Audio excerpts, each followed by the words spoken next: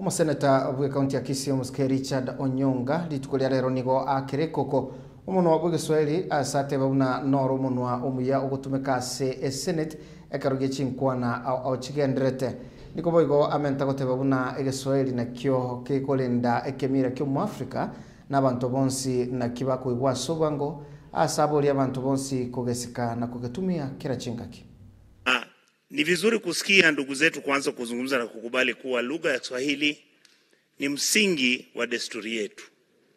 Lugha ya Kiswahili ni lugha ambayo ina mambo matatu makubwa. Kwanza, unajieleza vilivyo. Pili, inaleta uwiano. Ukishaleta uwiano, sasa mnaanza kufanya biashara. Ni lugha ambayo mkizungumza, hata ukisema pole, siku sikufikiria kuwa nitakukanyaga, mtu anaelewa na anajua kiroho, umesikia vile alikuwa amesikia ukimuumiza.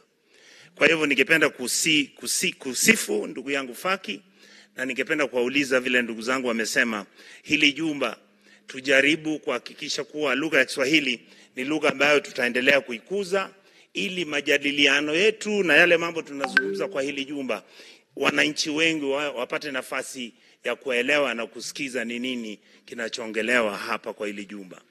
Jambo la pili ningependa kusema um, ndugu spika ni kuwa ningependa kumuuliza ndugu yangu Faki kuwa aanze kufikiria vile tunaweza kuhakikisha kuwa mashule yetu Hivi juzi, ndugu spika, mwaka uliopita nilikuwa na kijana wangu ambaye alifanya mtihani na alikuwa ana, ana, anafanya form 4. Kitu kilichonishtua alipita kila kitu ila Kiswahili. ilishtuka sana kwa sababu mimi nilikuwa napita Kiswahili naanguka hesabu, sayansia, hizo vitu. So nika, ndio nikaanza kuuliza shida ni nini? Lugha ya Kiswahili haijapewa umuhimu kule shuleni, ili wanafunzi wetu wasione kama lugha ya ulagai lugha ya wakora, lugha ya wale ambao hata hawajiwezi na hawajui.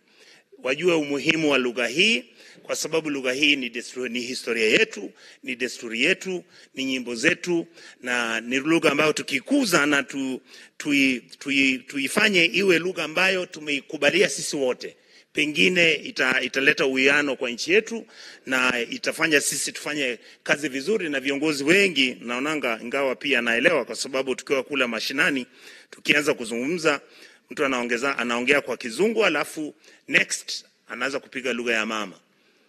Ningeomba kuwa tukiweza, tukiweza, tukiweza kufanya hivi na kurekebisha haya, tuwe tukiongea na Kizungu ndio, lakini tena tujaribu tupatiane umuhimu wa lugha ya Kiswahili, kwa sababu hii ndio lugha ya mama pia, na hii ndio lugha ambayo Waafrika wengi sana sana wanatumia wakati huu.